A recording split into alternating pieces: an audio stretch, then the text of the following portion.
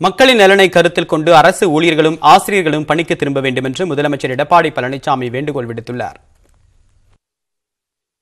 ஜாக்டோ ஜியோ அமைப்பினரின் தொடர் போராட்டத்தை தொடர்ந்து முதலமைச்சர் எடப்பாடி பழனிசாமி அறிக்கை ஒன்றை வெளியிட்டுள்ளார். அதில் அரசு ஊழியர்கள் கேட்காமலேயே பல்வேறு சலுகைகள் வழங்கியதையும் நிதி நெருக்கடிக்கு மத்தியிலும் ஏழாவது ஊதியக்குழு பரிந்துரைகளை அமல்படுத்தியதையும் சுட்டிக்காட்டியுள்ளார்.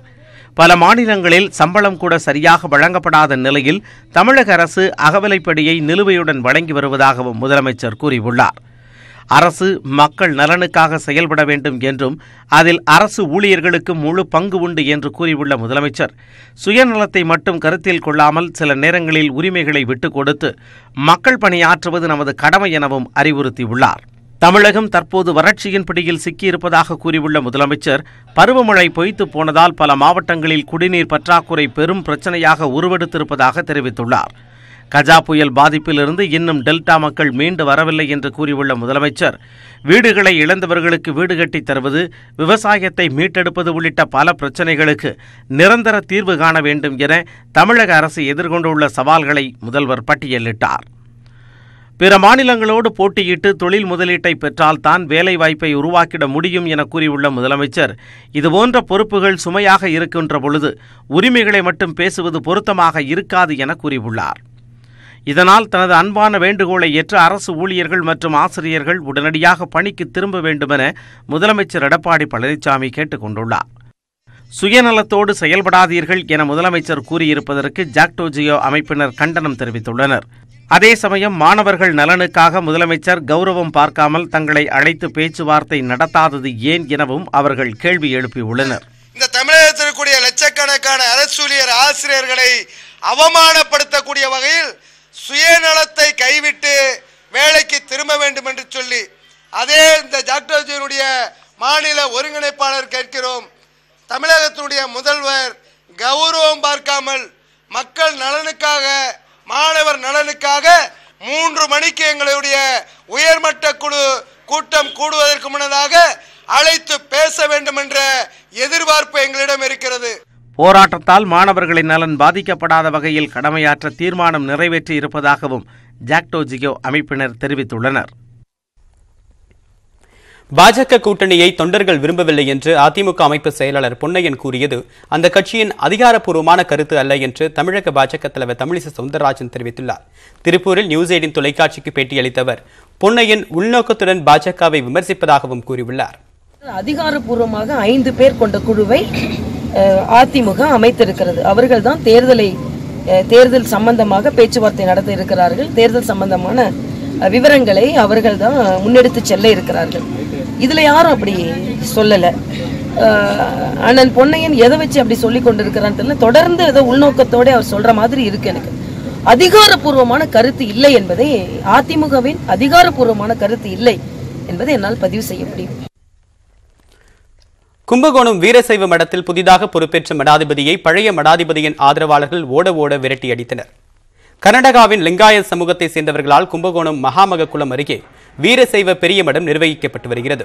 இந்த மடத்தின் மடாதிபதியாக நீலகண்ட சாரங்க தேசிகேந்திர சுவாமிகள் இருந்து வருகிறார்கள். இந்த நிலையில் ஆன்மீக பயணமாக அவர் கர்நாடகா சென்றிருந்த வேளையில் புதிய மடாதிபதியாக பசவ முருக சாரங்க தேசிகேந்திர சுவாமிகள் பொறுப்பேற்றுக் கொண்டார். நீலகண்ட சாரங்கர் பல கோடி ரூபாய்க்கு முறைகேடு செய்ததாகவும் அவரை கர்நாடகா சித்திரதுர்கா மடத்தை சேர்ந்தவர்கள் நீக்கிவிட்டதாகவும் கூறப்பட்டது. இதனிடையே நேற்று இரவு கும்பகோணம் மடத்திற்கு நீலகண்ட சாரங்கர் தனது ஆதரவாளர்களுடன் திரும்பிய போது மடம் உள்பக்கமாக பூட்டப்பட்டு இருந்தது இதனால் கடும் கோபத்திற்கு ஆளான அவரின் ஆதரவாளர்கள் மடத்தின் பூட்டை உடைத்து அதிரடியாக உள்ளே நுழைந்தனர். பிறகு புதிய மடாதிபதியின் பேனர்களை கிழித்து எறிந்து அவரின் ஆதரவாளர்களை கடுமையாகவும் தாக்கினர். அதன் பிறகு புதிய மடாதிபதி பசவ முருக சாரங்கரை ஓட ஓட அடித்து விரட்டினர். இதனால் அந்த பகுதியில் அதிக அளவில் போலீசார் குவிக்கப்பட்டுள்ளனர்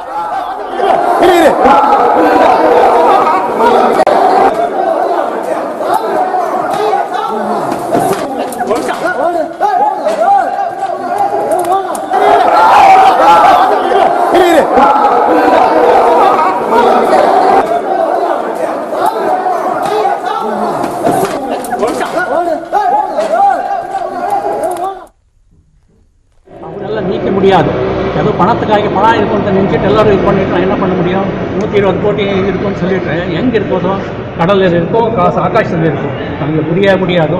அவரெல்லாம் பணம் கேட்டுட்டு ஜெயபிரகாஷ் நாயர் அந்த வெங்கடேஷ் எல்லாரும் பணம் வேணும் பணம் வேணும் கேட்டுட்டு பணம் கொடுக்க முடியாத சமயத்தில் அவர்கள் சேர்ந்துட்டு இந்த வேலை செஞ்சிருக்கோம். பொறியியல் மாணவர்களின் வேண்டுகோளை ஏற்று அரியர் எழுத முன்பிருந்த கட்டுப்பாடுகளை அண்ணா பல்கலைக்கழகம் தளர்த்தியுள்ளது. பொறியியல் மாணவர்களின் கல்வித்திறனை மேம்படுத்தும் நோக்கத்தில் அரியர் தேர்வு எழுதுவதில் அண்ணா பல்கலைக்கழகம் மாற்றம் கொண்டு வந்தது. இரண்டாயிரத்தி பதினேழு புதிய தேர்வு முறைப்படி முதல் பருவத்தில் ஒரு பாடத்தில் தேர்ச்சி அடையாவிட்டால் அதனை அடுத்து வரும் பருவத்தில் எழுத முடியாது. ஓராண்டு காத்திருந்து மூன்றாவது பருவத்தில்தான் எழுத முடியும் என்ற நிலை இருந்தது. இந்த புதிய கட்டுப்பாடால் கல்வியாண்டிற்குள் அனைத்து பாடத் தேர்வுகளிலும் தேர்ச்சி பெற முடியாது என்று கூறி அண்ணா பல்கலைக்கழக மாணவர்கள் போராட்டங்களில் ஈடுபட்டனர். அதனைத் தொடர்ந்து ஒரு குழு அமைக்கப்பட்டு இரண்டாயிரத்து பதினேழு தேர்வு நடைமுறைகளில் மாற்றம் கொண்டு வரப்பட்டுள்ளது இதன் மூலமாக அண்ணா பல்கலைக்கழக மாணவர்கள் தோல்வியடைந்த தேர்வை அடுத்தடுத்த செமஸ்டர்களில் எழுதலாம். கட்டுப்பாடு தளர்த்தப்பட்டதால் இனி மாணவர்கள் ஒரு செமஸ்டரில் எத்தனை அரியர் வேண்டுமானாலும் எழுத முடியும். இந்த திருத்தத்திற்கு அண்ணா பல்கலைக்கழக கூட்டமைப்பு ஒப்புதல் வழங்கியதும் உடனடியாக அமலுக்கு வர உள்ளது அதே நேரம் வரும் கல்வியாண்டில் புதிய கொள்கை வெளியிடப்பட உள்ளது. அதன்படி இரண்டாயிரத்து பத்தொன்பது இரண்டாயிரத்து இருபதாம் கல்வியாண்டில் சேரும் மாணவர்கள் இனி முதலாம் ஆண்டு முதல் செமஸ்டரில் அரியர் இல்லாமல் இருந்தால் மட்டுமே நான்காவது ஆண்டில் பயில அனுமதிக்கப்படுவர்.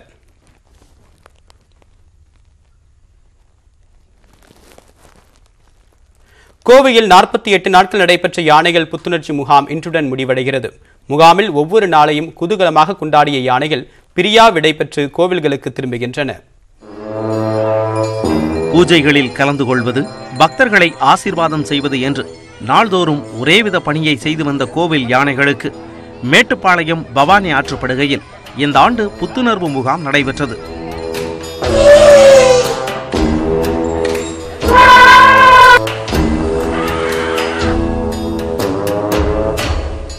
கடந்த மாதம் பதினான்காம் தேதி தொடங்கிய இந்த முகாமில் இருபத்தி எட்டு யானைகள் பங்கேற்றன. தினமும் நடைப்பயிற்சி ஷவர் குளியல் சமச்சீர் உணவு பசுந்தீவனம் மருத்துவ பரிசோதனை மற்ற யானைகளுடன் விளையாடுதல் என முகாமின் சிறப்பு விருந்தினராக கவனிக்கப்பட்டன யானைகள்.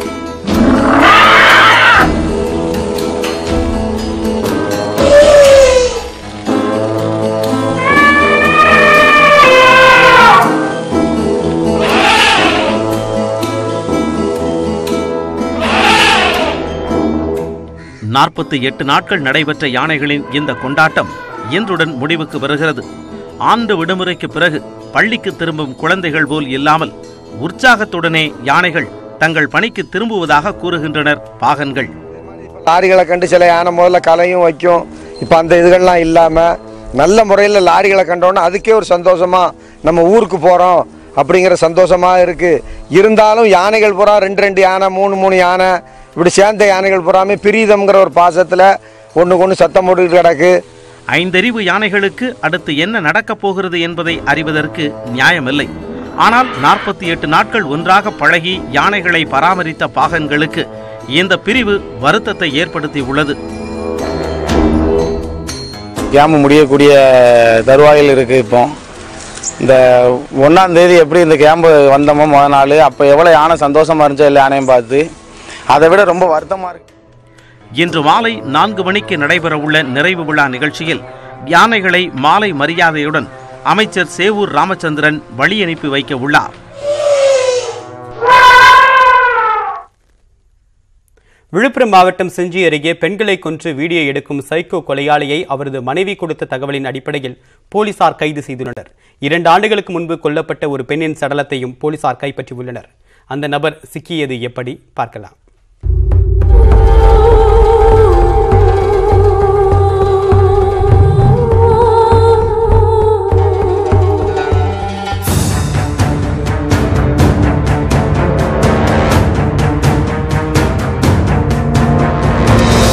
விழுப்புரம் மாவட்டம் செஞ்சியை அடுத்த பெரும்புகை கிராமத்தைச் சேர்ந்தவர் குட்டியம்மாள்.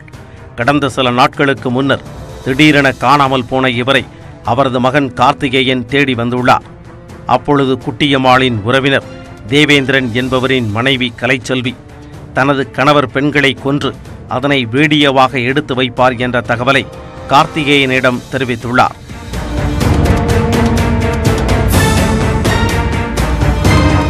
இதனால் அதிர்ச்சி அடைந்த கார்த்திகேயன் அதே பகுதியில் உள்ள மலைப்பகுதிகளில் தேடிய பொழுது குட்டியம்மாளின் சடலம் அழுகிய நிலையில் கண்டுபிடிக்கப்பட்டுள்ளது.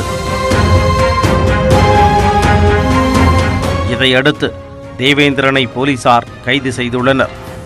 எப்படி சிக்கினார் தேவேந்திரன்? என்ன நடந்தது? இப்பொழுது பார்க்கலாம். பெரும்புகை கிராமத்தைச் சேர்ந்த குட்டியம்மாளுக்கும் அவரது அண்ணன் மகனான தேவேந்திரனுக்கும் இடையே தொடர்பு இருந்து வந்துள்ளது.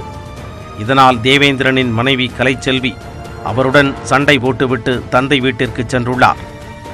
இந்த கோபத்தில் இருந்த தேவேந்திரன் கடந்த வாரம் தனது அத்தை குட்டியம்மாளை மலைப்பகுதிக்கு வரச் சொல்லி அவருடன் உல்லாசமாக இருந்துள்ளார். பின்னர் அவரை தான் மறைத்து வைத்திருந்த கத்தியின் பின்புற பக்கத்தால் மார்பில் தாக்கி கழுத்தை நெரித்து கொலை செய்துள்ளார்.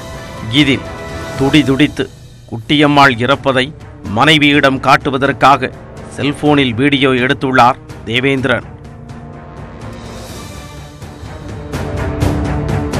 இந்நிலையில் குட்டியம்மாளை தேடிய அவரது மகன் கார்த்திகேயன் கலைச்செல்வியிடம் விசாரித்த பொழுது பெண்களை ஆசை வார்த்தை கூறி அழைத்துச் சென்று கொள்வது தனது கணவரின் வழக்கம் என்று தெரிவித்துள்ளார். இதற்கு ஆதாரமாக இரண்டு ஆண்டுகளுக்கு முன்பு நாட்டார் மங்கலத்தைச் சேர்ந்த சுமதி என்ற பெண்ணை கொன்று தேவேந்திரன் எடுத்த வீடியோவையும் காட்டியுள்ளார்.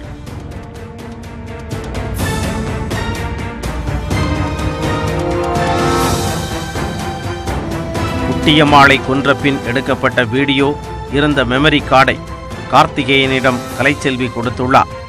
அதை வைத்து கார்த்திகேயன் காவல்துறையினரிடம் புகார் அளித்துள்ளார். பின்னர் காவல்துறையினர் பெரும்புகை அருகே உள்ள மலைப்பகுதியில் தேடிய பொழுது குட்டியம்மாளின் சடலம் அழுகிய நிலையில் கண்டெடுக்கப்பட்டுள்ளது.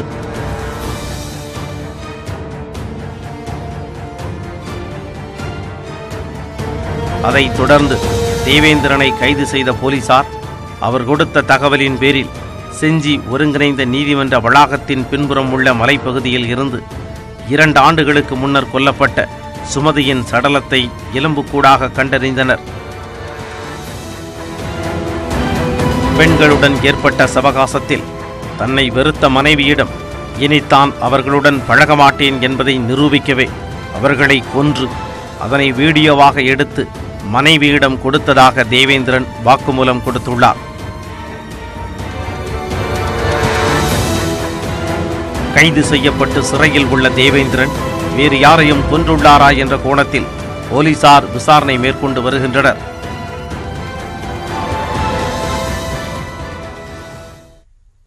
திருவண்ணாமலையில் தனியார் காப்பகத்தில் தங்கி படித்த மாணவிகளுக்கு பாலியல் தொல்லை கொடுத்ததாக உரிமையாளர் உள்ளிட்ட இரண்டு பேரை போலீசார் கைது செய்தனர்.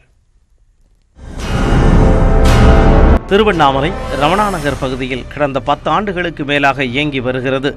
அருணை குழந்தைகள் காப்பகம். பாபு என்பவருக்கு சொந்தமான இயங்கு பல்வேறு பகுதிகளைச் சேர்ந்த ஆறாம் வகுப்பு முதல் பனிரெண்டாம் வகுப்பு வரையில் படிக்கும் மாணவிகள் தங்கி படித்து வருகின்றனர். காப்பகத்தில் உள்ள மாணவிகளுக்கு அதன் நிர்வாகிகள் பாலியல் தொல்லை அளிப்பதாகவும் அடிப்படை வசதிகள் கூட இன்றி காப்பகம் இயங்கி வருவதாகவும் மாவட்ட ஆட்சியர் அலுவலகத்திற்கு தகவல் கிடைத்தது. இதன் அடிப்படையில் மாவட்ட குழந்தைகள் பாதுகாப்பு அலுவலர் கோகிலா உள்ளிட்டவர்கள் சம்பவ இடத்திற்கு சென்று ஆய்வு மேற்கொண்டனர். அப்போது மாணவிகள் சிலருக்கு விடுதியின் உரிமையாளர் மற்றும் மேலாளர் பாலியல் தொந்தரவு அளித்தது அவர்களிடம் நடத்திய விசாரணையில் தெரிய வந்தது.